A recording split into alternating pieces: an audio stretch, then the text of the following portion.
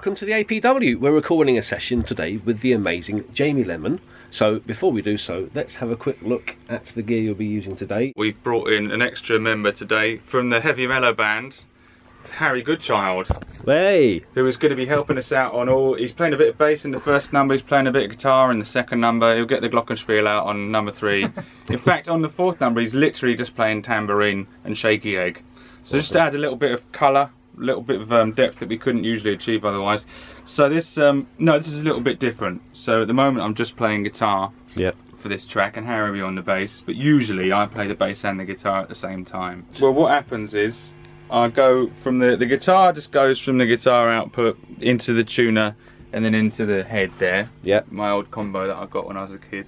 Yay! But when we play the bass in a in a couple of tunes time, when I plug in the bass, I'll, I'll have a um, a lead that goes into this passive pickup here, that then goes into the Pog, which Right. takes it down an octave, and then goes into the Fender Bassman over there Which is over here. by which time it sounds just like a regular bass, sounds exactly the same as a bass guitar. Right. And so everything I play on here, you get the chord, the full chord coming out to the guitar but you get this bass note as well Wow. going into the bass cab. So I play everything Right, yeah. apart from the drums.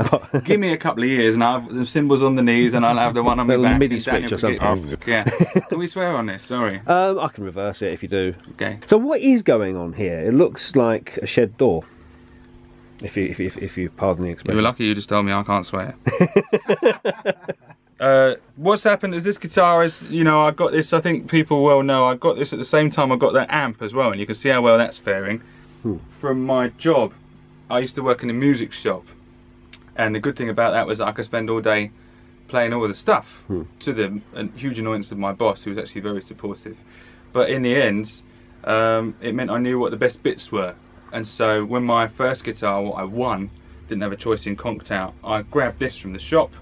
Sounded great, and I haven't been able to find a guitar since that sounds exactly the same. Some Right. people have given me some very, very nice guitars, and Fender gave me a lot of guitars in the double fat range. They've got two humbuckers, and I do have a double fat Strat, which I which I use every now and then. But you know, nothing against Fender or Ibanez or all of the people over the years. Even even Yamaha, when I had an endorsement with Yamaha, couldn't find me a guitar that's exactly the same as this one. Right. So basically, when this goes, my career's over, such as it is anyway. Some people would argue that my career is already over. but um, I'm just holding it together. I, I recently put these plates on it, the metal plates, so it doesn't crack. It's got a death crack down there Wow. from chucking it about, and that runs up the neck. I'm a bit worried about the neck. If you can see here, that goes through to these tuning pegs. I might have to put some wood glue on that before Lenmania. But I'm sort of hoping that it falls apart during the show, which would make a really good end to the show. Even if it's only two songs, it's gonna be like, Ashley, look, what do you want? You just seen the guitar explode. I think that's a good enough show. So that's what's happening with this guitar. It's sort of staying alive somehow. It represents me and my career in that it should be dead, but somehow it's still going.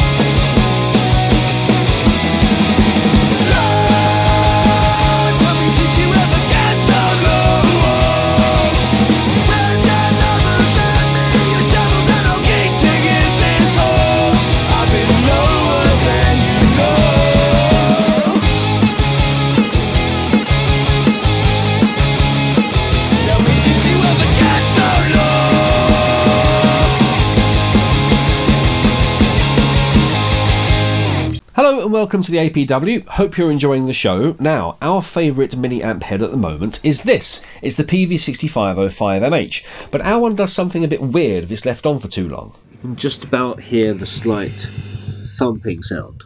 You probably can't see it on the camera, but the TSI lights are flashing ever so gently. And if we turn up the reverb, there it is. So what I thought it might be is that the output valves were biased too hot from the factory. That can happen sometimes, doesn't damage the amplifier, but we should take it apart, see what we can do about that, and more importantly, see how that affects the sound. JJ valves, that's nice. The bias adjustment, that's the bit we're after. I've used a bias probe and I've measured that at 28 milliamps. So I'm going to turn that down to 21 or thereabouts and see if that means the amp runs cooler and see how that sounds. Right, let's see how that sounds before and after.